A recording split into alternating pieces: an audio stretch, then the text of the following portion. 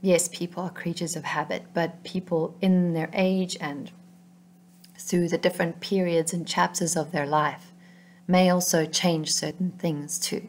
So you'll notice that in the 80s and the 90s, there was frequent mention of Johnny Depp's drug and alcohol habits, right? His trashing time. But then when he met Vanessa and they had kids, it seemed like he really got his head together and he sorted himself out for at least 10 years for the kids. That's what it looks like happened. Just from my lowly little vantage point over here as a normal pleb, it looks like he cleaned himself up for the kids. And he did that good solid for just over a decade. And then when he got together with Amber, that marked the period of his traditional family life with Vanessa and the kids. That was over there, and him and Amber are over here. So to him, this is the start of a new chapter. This is the start of a new like possibility of what's what's available to him. What what can he do in a day? What what things can he relax now to do? Because when you're at home with kids, there's certain things that you just can't do. But now that he has the new wife and he's just on his own in the house with the new wife, he can have another glass of wine if he wants to. He can have another, you know, try of something else in, in the back room if he wants to. He doesn't have a, a mother to answer to, or he doesn't have the mother of his children to answer to, and he doesn't have to be wary of the eyes of his children on him anymore.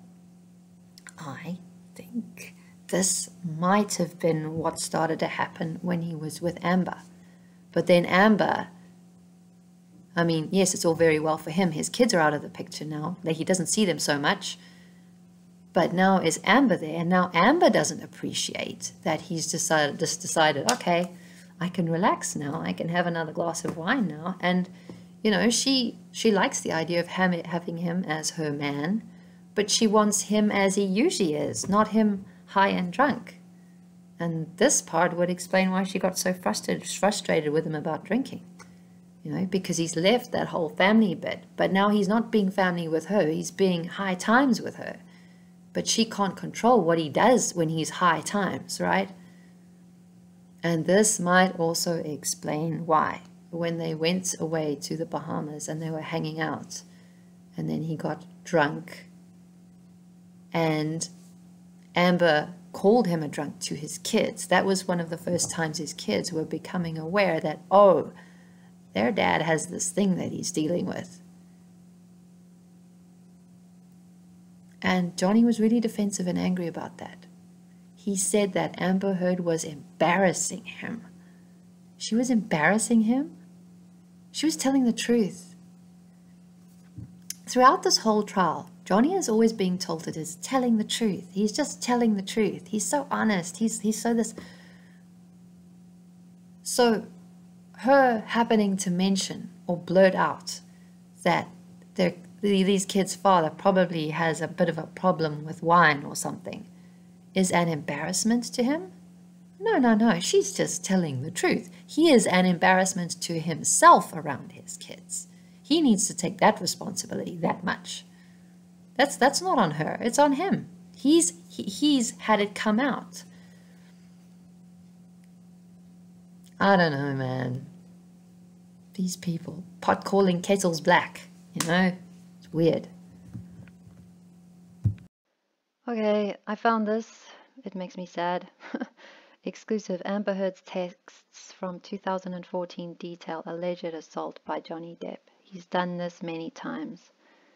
They're still not married yet, right? They haven't got married yet. ET has exclusively ob obtained never before seen text messages that a source says are between Amber Heard and a man purported to be Johnny Depp's assistant, Stephen Deuters. I'm assuming that's how you say his name, Stephen Deuters. And so that we don't have any absolute proof that this Stephen Deuters is uh, representing Johnny Depp here. Um, that date back to before the estranged couple was married. This, is before they're married and long before other alleged incidents. Heard previously detailed in court records, claiming that Depp was physically abusive with her. The text exchange, which the source says is from May 2014, begins with a message from Stephen, who is apologizing on behalf of a man, purportedly to be Depp. I think he's just texted you. He's incredibly apologetic and knows that he has done wrong. Stephen's alleged text reads, He wants to get better now. He's been very explicit about that this morning. Feel like we're at a critical juncture. The recipient of the text, which ET's source says is heard, responds, Yes, but I don't know how to be around him after what he did to me yesterday. I don't know if I can stay with him. Stephen purportedly answers, He wants to see you so much, he's distraught. Te heard texts back, obviously he has no idea what he did or the extent that he did it. If someone was truly honest with him about how bad it really was, he'd be appalled. The guy was either high or in incredibly inebriated on alcohol. He shifted to that space where he's a different person. And he has missing time. He can't remember what he did. And so the next day, when anybody reminds him or talks to him about it, He's just got to take their word for it that it happened because he can't remember. I'm sad that he doesn't have a better way to know the severity of his actions yesterday. This girl should have installed CCTV, man. She should have done that a long time ago. She continues, Unfortunately for me, I remember in full detail everything that happened. How do we know she's lying, man? We don't know. Stephen allegedly reiterates that the man purported to be Depp has no recollection of the events that occurred. He doesn't remember, so of course he's going to say, I didn't do that. I didn't hit her, I wasn't physical with her, because he's no memory of that. He only gets physical after the point of no return of being inebriated on alcohol. He was appalled, Stephen writes. When I told him he kicked you, he cried. It was disgusting and he knows it. He's a little lost boy and needs all the help he can get. Stephen allegedly continues. He's so very sorry as he should be. Yeah, but he keeps taking it out on the woman who's supposed to be closest to him, man. No. Heard responds, he's done this many times before. Tokyo, the island, London, remember that? And I always stay. Always believe he's going to get better. And then every three or so months, I'm in the exact same position. ET is not able to independently verify the recipients of the messages or whether they had been edited and has reached out to Depp's rep and Deuters in regard to the text. Did these make it to the trial? Was it verified? There was one severe incident in December 2015 where when I truly feared for my life. Heard also says that during the entirety of their relationship, Depp had been verbally and physically abusive to her. So Depp, Johnny Depp, probably knows he's familiar with the verbal abuse. But he's not familiar with the physical abuse because in his thinking mind, he has no memory of doing that. But maybe there's a whole section of him that's doing things that he's unaware of as happens with people who pass that point, right? Okay, so I'm looking at Insider now. See the URL there? Okay. Um, and now this is about what Johnny Depp said to a friend of theirs right after he'd got married to Amber Heard, right afterwards. So the headline is Moments after Johnny Depp and Amber Heard tied the knot, he said, We're married now. I can punch her in the face and no one, nobody can do anything about it. A former friend of Heard's testifies. Wow! Just wow. A former friend of Amber Heard's says Johnny Depp made a comment about physically assaulting his new wife immediately after Depp and Heard said, I do, at their 2015 Bahamas wedding. I was walking with Johnny and congratulating him that they pulled it off. The, I, the author I.O. Tillett Wright, who served as best man at the ceremony, testified Tuesday, adding that Depp then said, We're married now. I can punch her in the face and nobody can do anything about it. We're married now. I can punch her in the face and nobody can do anything about it. What the hell is this? What is he thinking? Where is his brain at? What's his internal dialogue? What's the internal dialogue going on inside his head? What are the thoughts going on inside his head? And how is he feeling about women and his future wife? If this is what comes out of his mouth directly after actually getting married, where is his head at? Now, I, don't know, like, if this is, if you're a guy listening to this, how would you feel? If you heard this from a man marrying somebody close to you, like your sister or a daughter, how would you feel if you heard this coming from a guy who was marrying your sister or marrying your daughter? This should tell you everything. He said he was sometimes called in to help mediate intense fights between the couple and testified that Depp would get misogynistic and cruel under the influence of alcohol and cocaine. Tillett Wright said he witnessed Heard and Depp argue with each other, but said he never saw either get physically violent with each other. Okay, that's pretty cool. But there's this misogyny here, man. The guy Johnny Depp, he loves women, but at the same time, there's an element, there's an element of them that he hates. Why does he? I mean, if he doesn't like the type of woman that Amber Heard is, why does he date her? Tillett Wright testified that Depp told him he had experienced jealousy and rage activities in previous relationships with Winona Ryder, Kate Moss, and Vanessa Paradis. Now, I've already detailed the part with Kate Moss. I do not have the parts about Winona Ryder and Vanessa Paradis, but apparently they're out there if you look. So this dude has a pattern of jealousy and rage activities. So basically, he's rageful, he's extremely violent to the surrounding environment and probably to things, furniture, appliances, whatever's in the room. He's not going to hurt the person, but there's going to be the storm going on around the place while he's angry. God, imagine living around that. Wright also said he had a lot of discussions with Depp about his fights with Heard and said the actor confided, confided in him about his childhood and fraught relationship with his mother and would often compare his mother and Heard. He said at one point something to the effect of, I already have a mom who is a bitch to me. I don't need another one in my life. Okay, see, here's my argument. If you don't need another one in your life, why do you go looking for them? I don't get this. Tillett Wright and Heard and Depp said Heard and Depp were frequently cruel to each other during their blowouts. Yes, I'm not denying this. It looks like they've both been pretty awful to each other.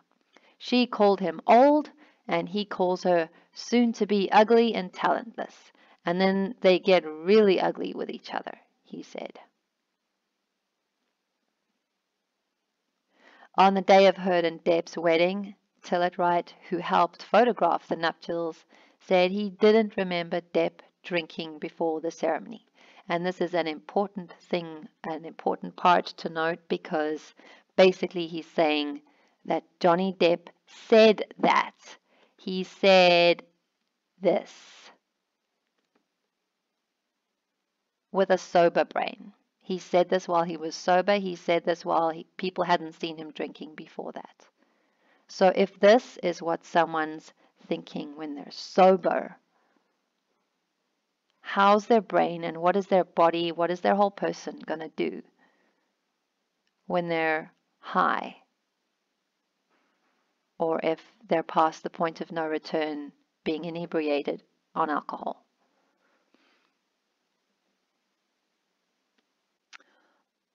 Okay, this is Insider and it's detailing um, Tillett writes about Johnny Depp getting misogynistic and cruel under the influence of alcohol and cocaine. One of Amber Heard's former friends who got to know Johnny Depp during the couple's relationship testified on Tuesday about how Depp would become very mean and very surly under the influence of drugs and alcohol.